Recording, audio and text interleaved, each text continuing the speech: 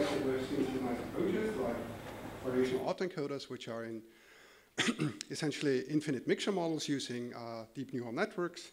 We've seen uh, generative adversarial networks, which are defining a sampling process and implicitly representing a distribution uh, you're interested in, and especially they are especially successful in representing uh, or producing high fidelity data with neural distribution estimators, which decompose your joint distribution according to the ch uh, chain rule of probability and representing conditional distributions with neural networks. We've seen normalizing flows which warp a simple sample from your, a simple distribution like a Gaussian into your target distribution using a stack of invertible neural networks.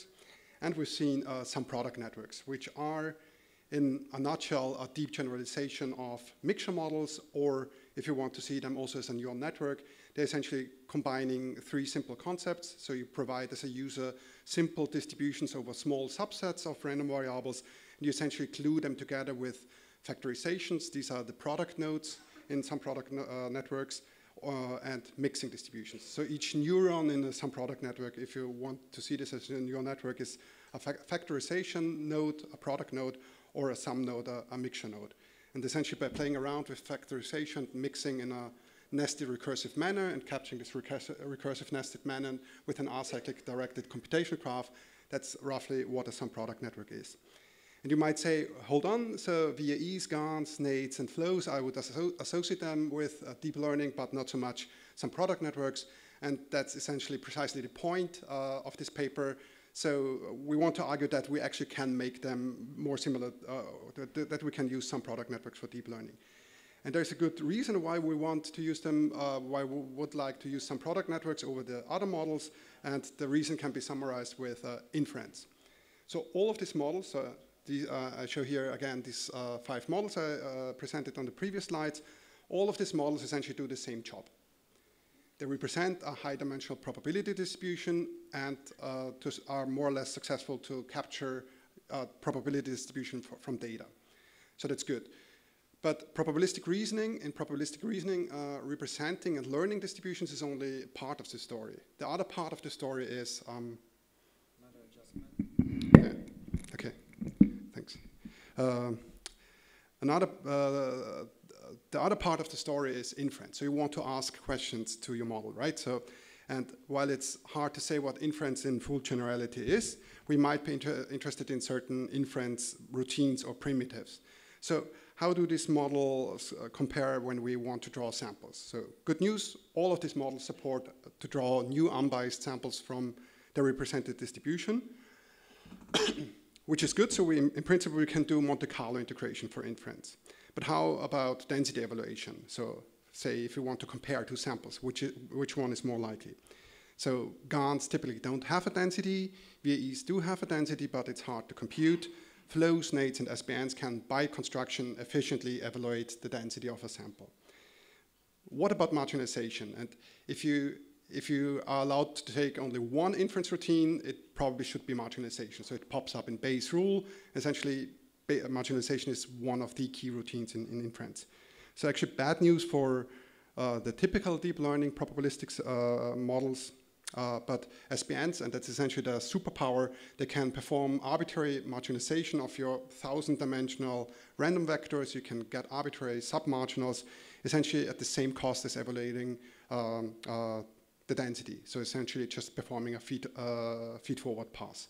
I don't go into details here, but uh, just let it be said that this is easy in SPNs. Uh, similar for conditioning, so you can uh, get, if you have a, a, density model represented by an SPN, you can come up with arbitrary conditioning uh, distributions. So you get all of the conditionals, essentially with two network passes. Uh, you can also compute moments in polynomial time. In full generality, However, maximizations of finding a probability maximizing assignment on, under your model is also hard in SPNs, unless, if we've uh, learned yesterday, you can impose uh, further constraints on the model, then also this is a tractable inference routine. So it looks good for SPNs, and essentially the question is, so why aren't they more used as a deep learning model?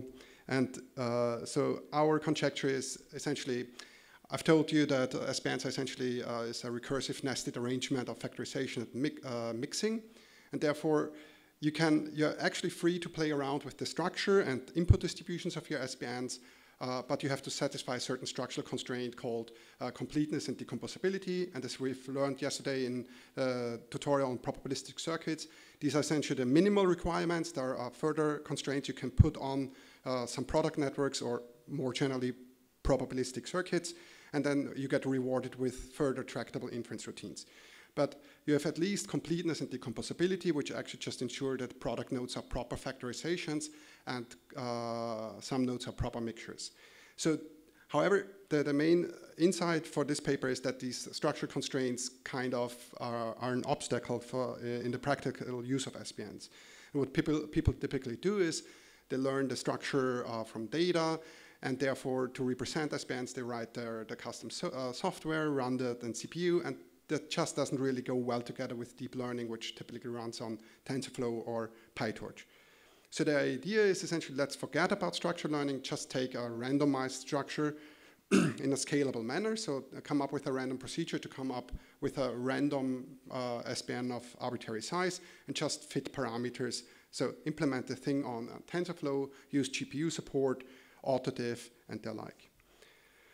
Um, so pretty straightforward idea. So here's how we do it. So in order to come up with a random sum product network, we go uh, via a more general representation of sum product network called a region graph.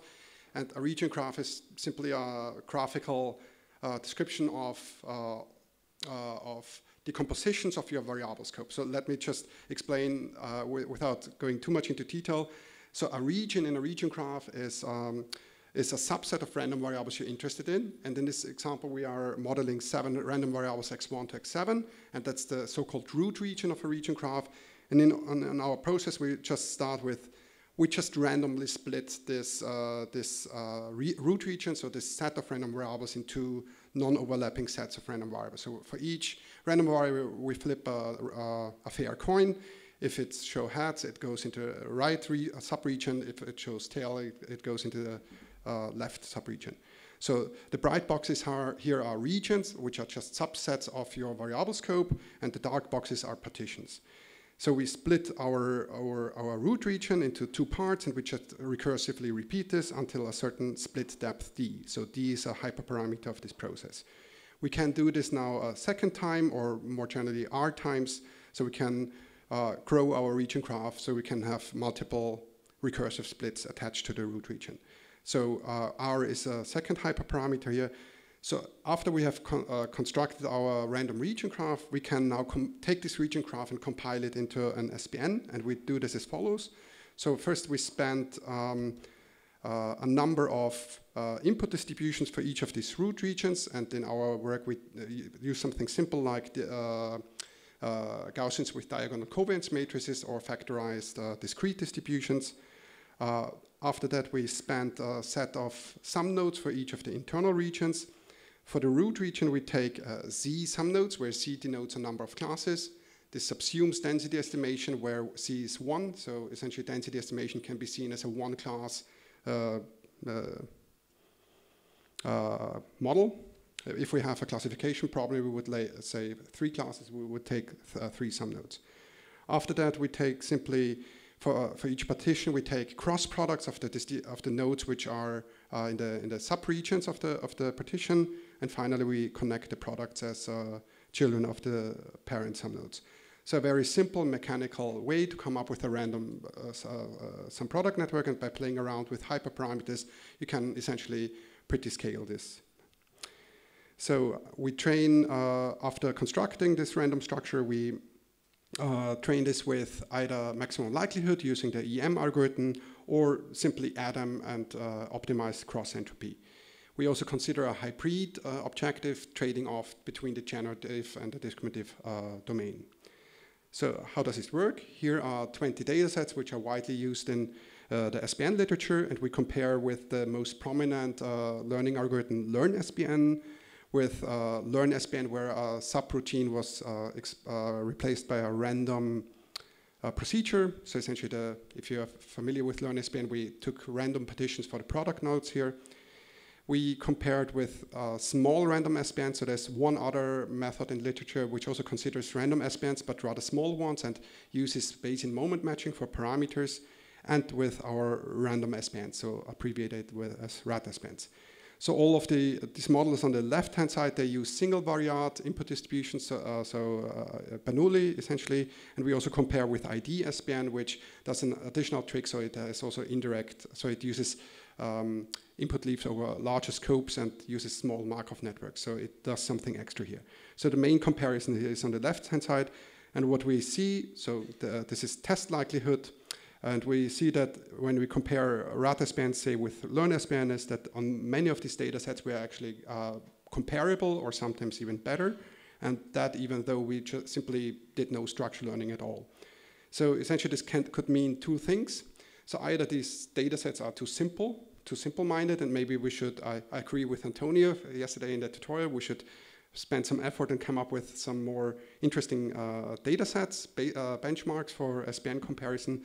So either these data sets are too simple, or it could mean that many data sets are of the nature that you can actually crack it with a random structure.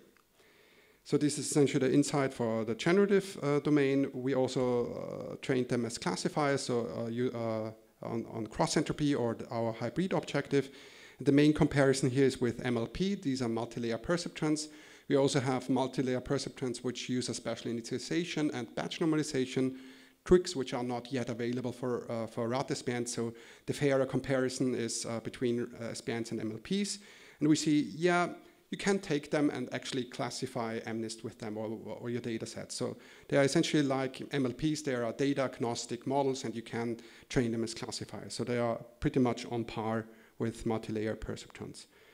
So you can you can decide do you uh, do you want to take an MLP as a classifier? Do you want to take a, RAT SPN as a classifier? So why why would you go with a more complicated model or like a RAT SPN, which is also somewhat slower to train? So here are some reasons why you would like to do that. So uh, while an MLP is essentially a condition distribution over your class given inputs, uh, a RAT SPN or more generally an SPN is always a joint distribution over your class and all the inputs. So what you can do is, if you get a sample, just marginalize out the class variable and you get essentially a P of X, so you get a, a probability of your inputs. Um, so um, Um, so where is this useful? For example, um, for when you uh, when you have missing data. Uh, so when some some of your input uh, features are missing at random, then the marginalization power of SPNs actually allows you to analytically or like uh, in closed form to integrate it out. So like when, when something is missing, you can just integrate it out and you get uh, still uh, a robust classification. So here we played with two data, data sets and re uh, reduced artificially the percentage of missing inputs. And so all these curves except the red curve are uh, RAT SPNs with in a different generative discriminative trade-off regime, and we see that they are more behave more robust than when you than uh, when you do uh, classification with missing data on with uh, MLPs using dropout.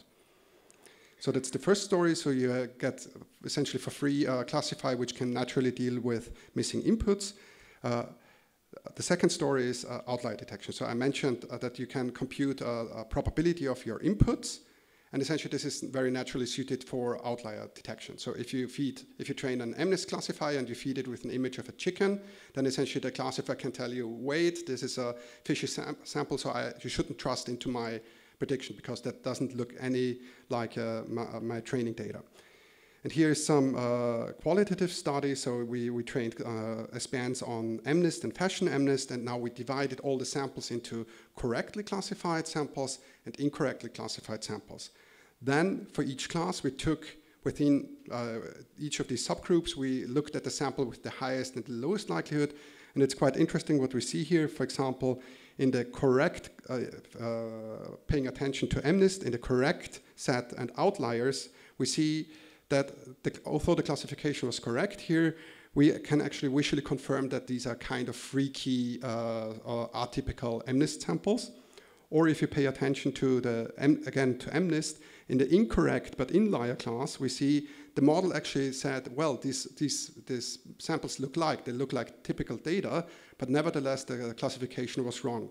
And if we look at these examples, we see actually an explanation why this happened. So like the zero could also be an eight, or the six looks a lot like a one. So essentially it seems that these are like the ambiguous samples.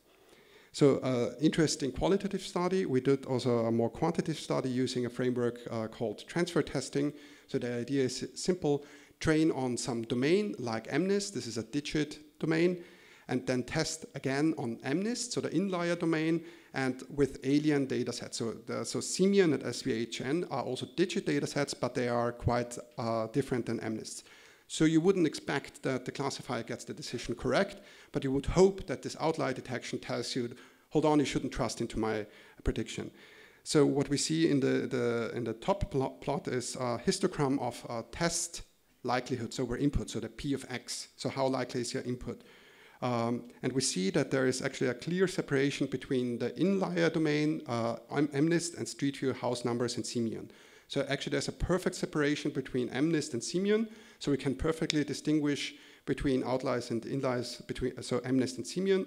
Uh, Street View house numbers and MNIST uh, overlap a bit, but it's hardly to see in, in this plot that this is actually uh, less than 1%. So we are we can actually, using this uh, P of X, we can distinguish almost perfectly between inlier and outlier data.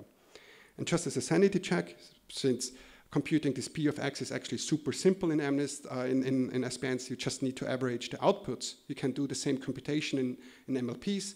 This wouldn't have the meaning of a proper log likelihood, so we call it a mock likelihood, and this is just a sanity check that performing the same computation in an MLP does not lead to such a clear uh, outlier signal.